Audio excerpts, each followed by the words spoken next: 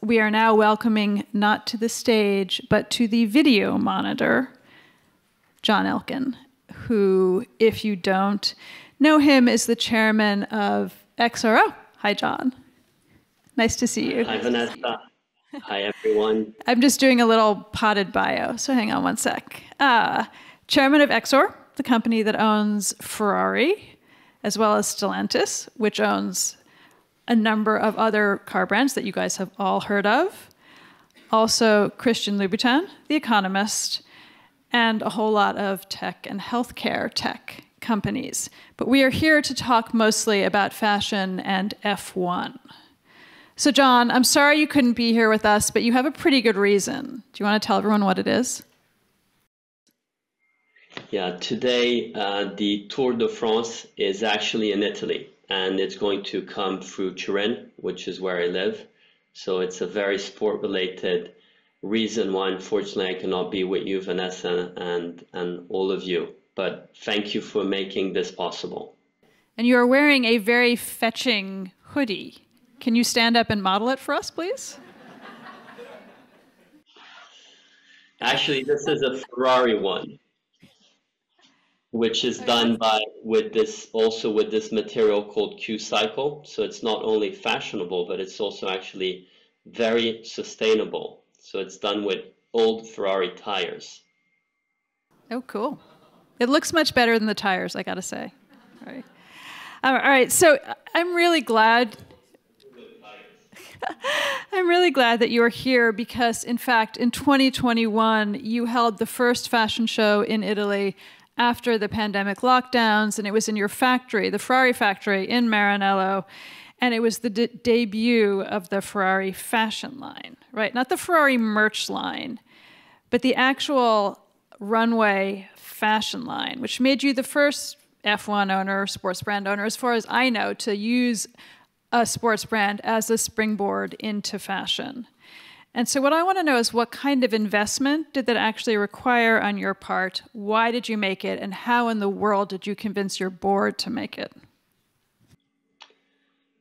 It was a very special moment. As, as you rightly said, that was the first fashion show, live fashion show that happened after the pandemic in Italy.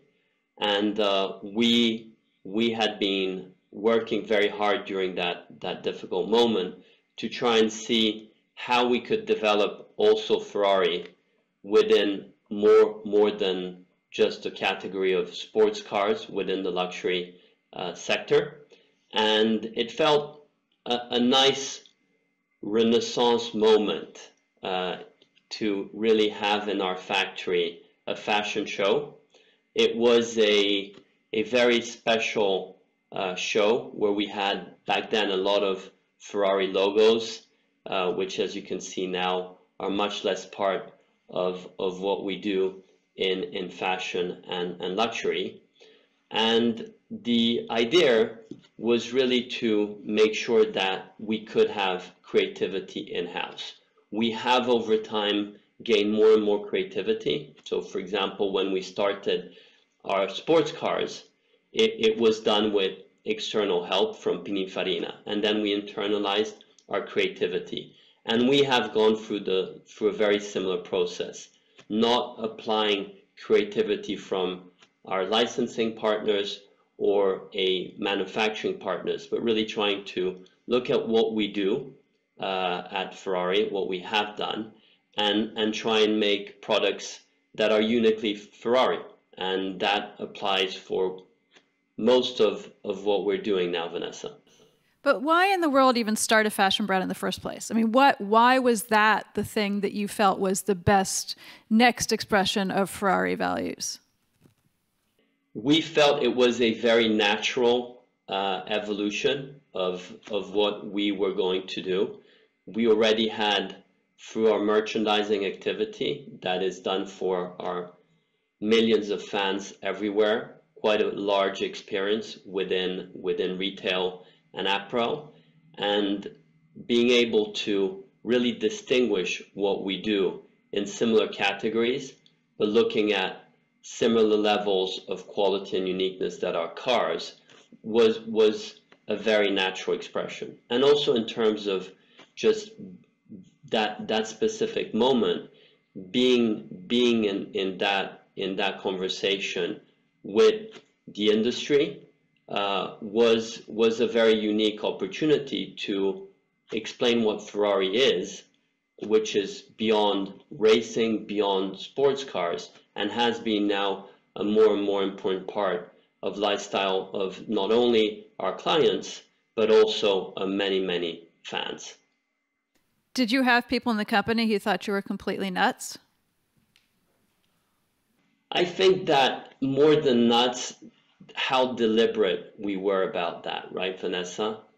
Like that, that was the big question. Was this just a moment, uh, which could explain itself by what we had been living, uh, or was this really a, a focus that we as a company wanted to pursue?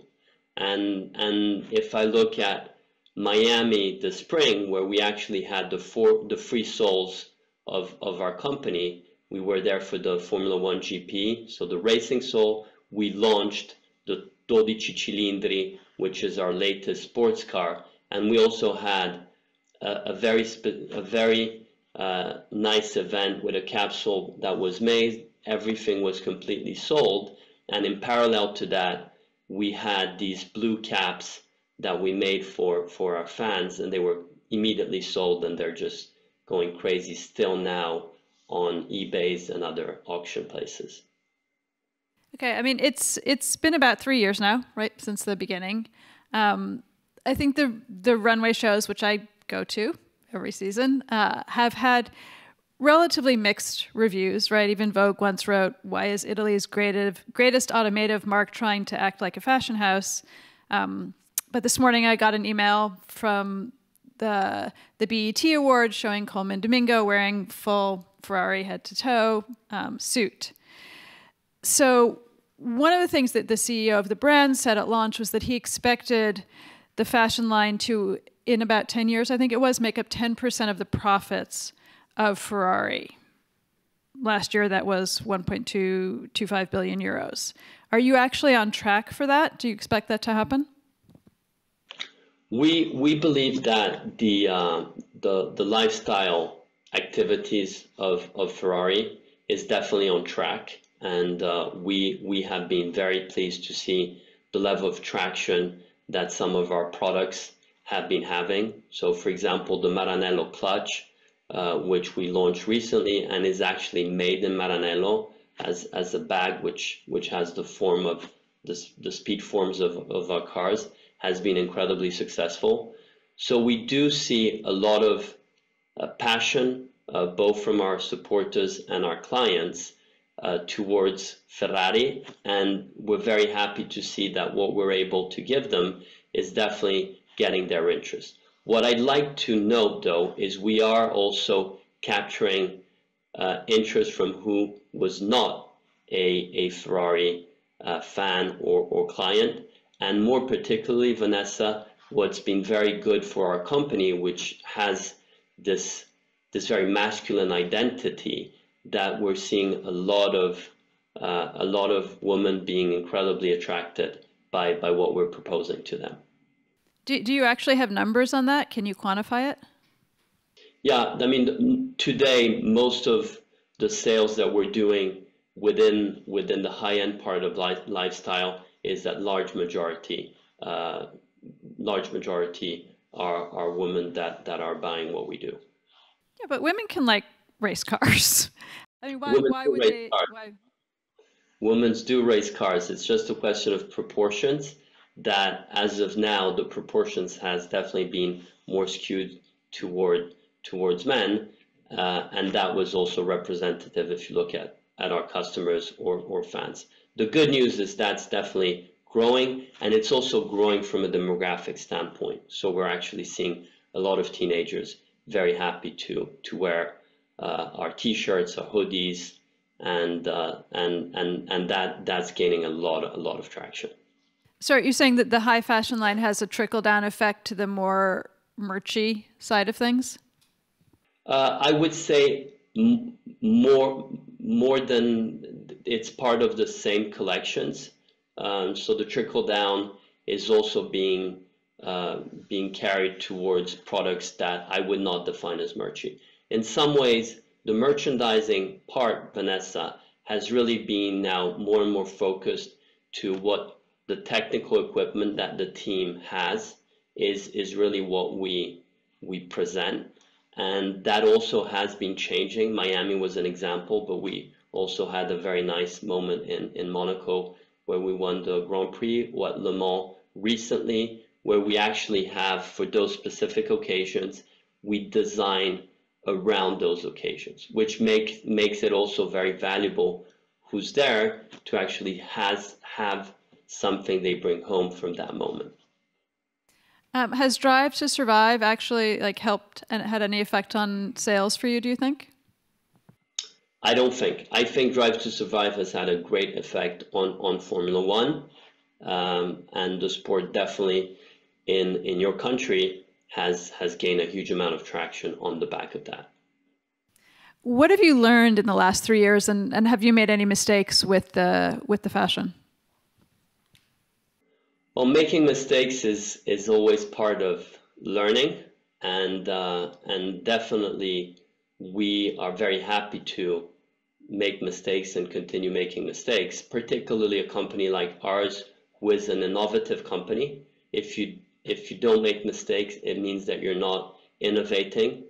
I think that what we have been learning is is more precision around uniqueness both the materials that we use, uh, making sure that our Italian identity is very clear, making sure that what we do is not only looking good, but it's also wearing. It's it's also nice to wear, and and the good thing is that we are a company which has a lot of history, uh, and we're always adding to to our history and the recent years have definitely been with many mistakes from which we learned a lot. So we encourage making mistakes. Not too many, Vanessa, but I think you need to have a good amount of them. Uh, give me one example of a mistake and what you learned from it. Specific. Yeah, I, I think like caps are a big deal for us, you know, and uh, and just working on caps uh, there are many different formats of caps. And so we, we actually uh, were pretty standardized when, when we were starting uh, our work on caps, and we have since been developing and adding to our caps to make them more and more unique. Uh, so that was an area, uh, for example, that we've improved. Uh, th there has been a lot of tradition within leather goods around what we have done historically on, on luggage for our customers and so how we've reinterpreted some of our uh, some of some of our uh, leather goods uh, work and the evolutions we've had in in that has been very interesting. The supplier base you have when you start small, you'd have more a more artisanal approach as things develop in a way which you need to produce more, you need to have a different type of suppliers. So the mistakes are both in terms of you know conception, but equally on on how you make sure to to be able to make the highest quality possible. Okay, I have I have one last question, and then I'm going to open this up to the audience who will ask a question, I guess via via me to you. Um, so you signed Lewis Hamilton for the next racing season, right? Starting in 2025. That's someone who has an enormously high profile, both in fashion and in F1 was the fashion an element in that? Will you work with him on fashion? Is he going to play a role in that?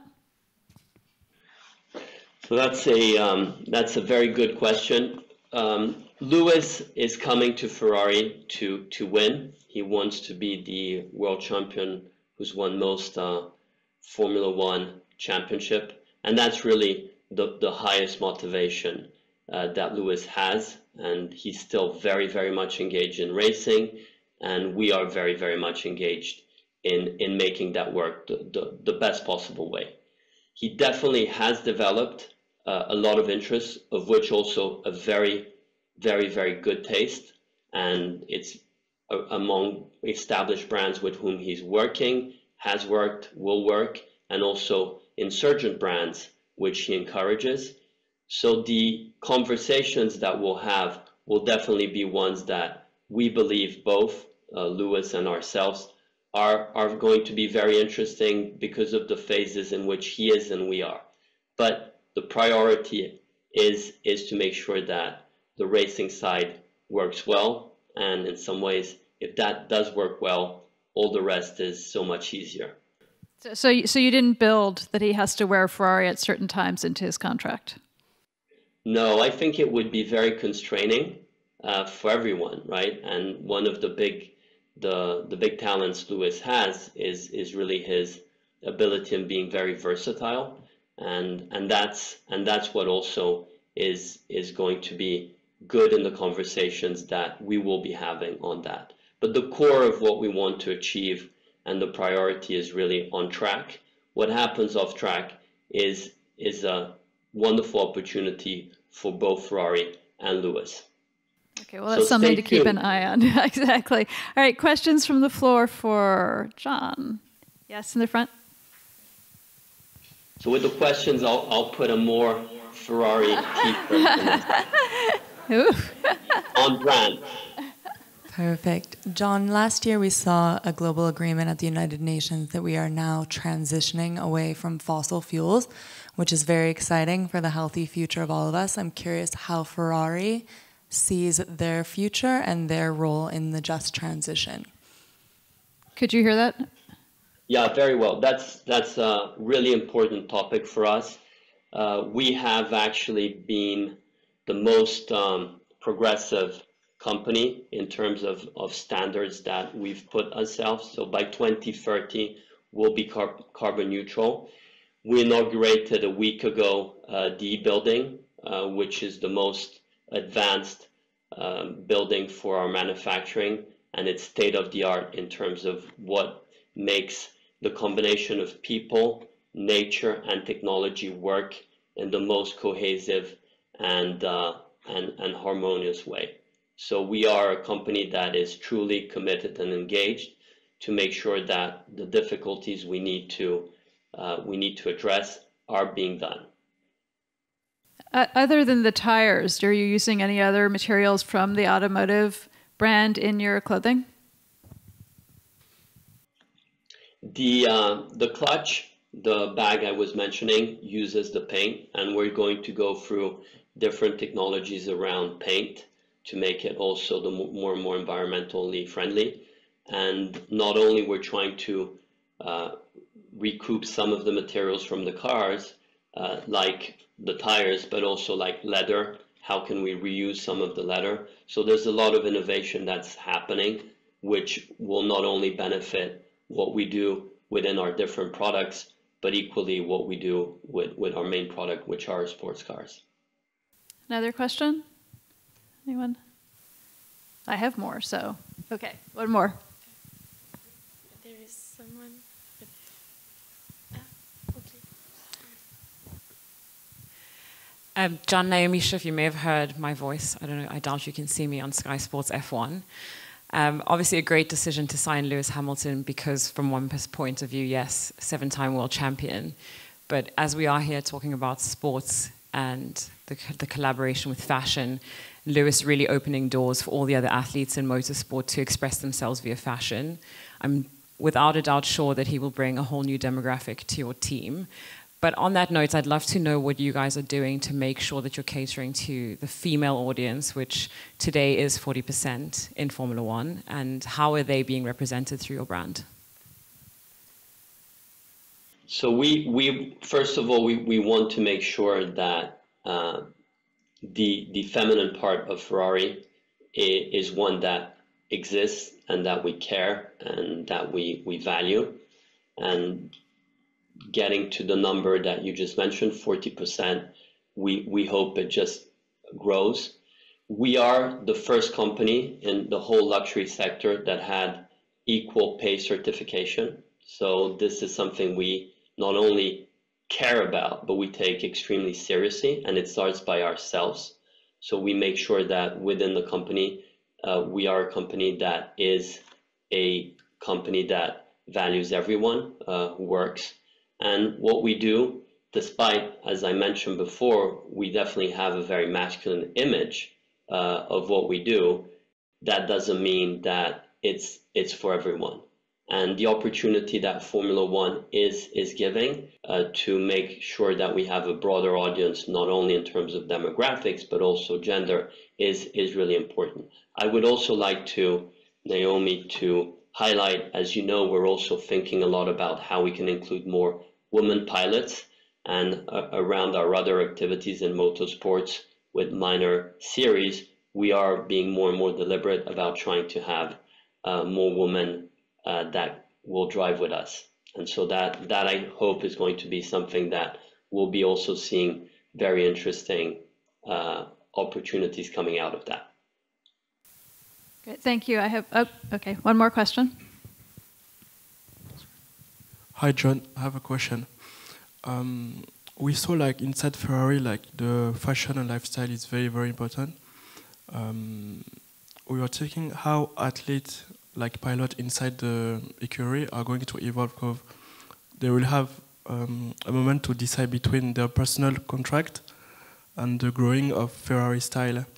Do you push in their personal contract some exclusivity, or how this is going to work? Very good question.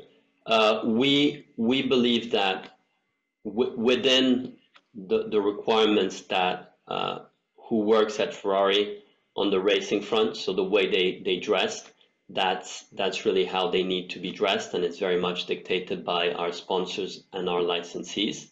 And within that frame, the creativity that we're trying to get is one where we would include them.